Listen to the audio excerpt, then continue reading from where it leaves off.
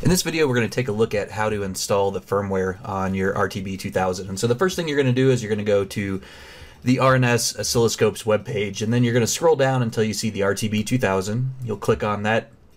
Within the RTB2000, as you scroll down a little bit, you'll see some different areas where there are downloads, and you want to say show all downloads, and then we'll go to firmware.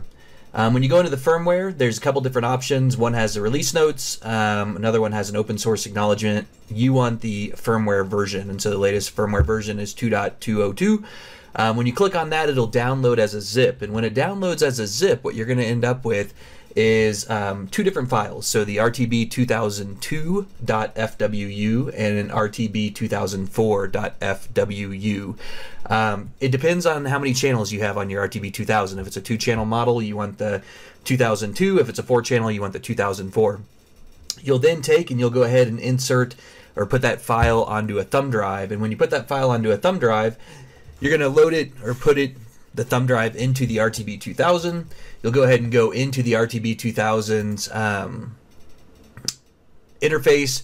You'll go menu and go ahead and scroll down until you get to where it says setup. And within setup, um, again, there's a couple options here. The main one that you're going to want to do is this firmware update. And when you click firmware update with that USB um, thumb drive inserted, it'll pop up and it'll say if you have a new version that you can install.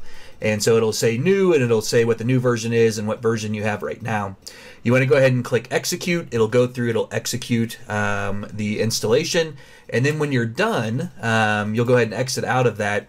And we typically recommend that you go in then and you run a self alignment after you've updated the firmware. And so to run a self alignment, you go to setup and you go self alignment right here. You disconnect everything from the front of the scope, and um, it takes about five to ten minutes for the self alignment to run through, and you'll be um, ready to rock and roll after that.